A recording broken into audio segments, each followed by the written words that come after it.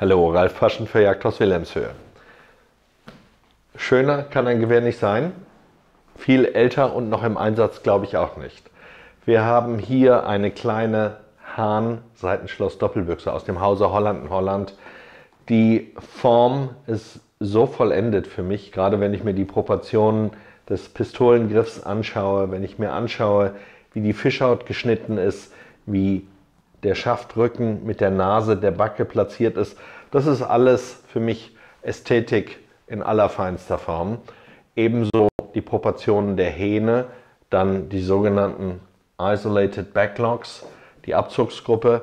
Das Glas, ebenfalls ein super frühes Glas, ist später eingesetzt worden. Dazu hat man leider auch ein paar Teile aus der Originalschiene entfernt, aber das zeige ich gleich noch mal ein bisschen präziser.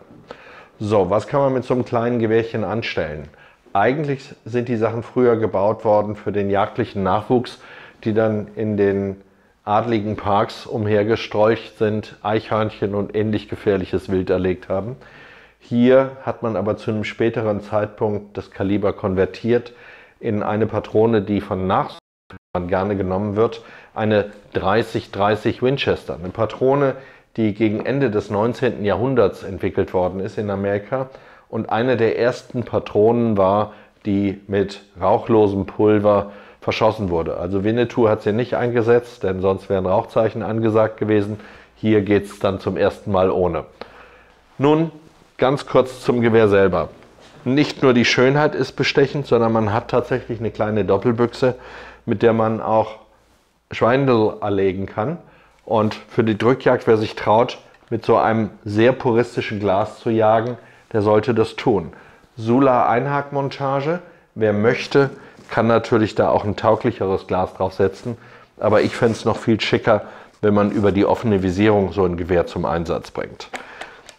Das Kaliber war ursprünglich, vermute ich mal, eine 300 Sherwood, ist jetzt von mir beschossen worden, denn der Vorbesitzer der dieses Gewehr geführt hat und wohl so erworben hat im Kaliber 30-30, hat keinen großen Wert auf Beschussstempel gelegt, aber das ist jetzt gewährleistet. Sie ist beschossen, gültiger Beschuss seit letzter Woche. Und darüber bin ich sehr glücklich.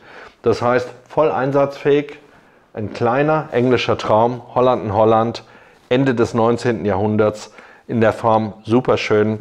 Bitte einmal die Kamera etwas näher. Wir haben hier ein Flat Top Checkering, so nennt der Engländer diese Fischhaut, die ansonsten nur noch von Fratelli Rizzini in dieser Form geschnitten wird. Und das ist schon wirklich sensationell. Auch das ganze Holz ist sehr ordentlich.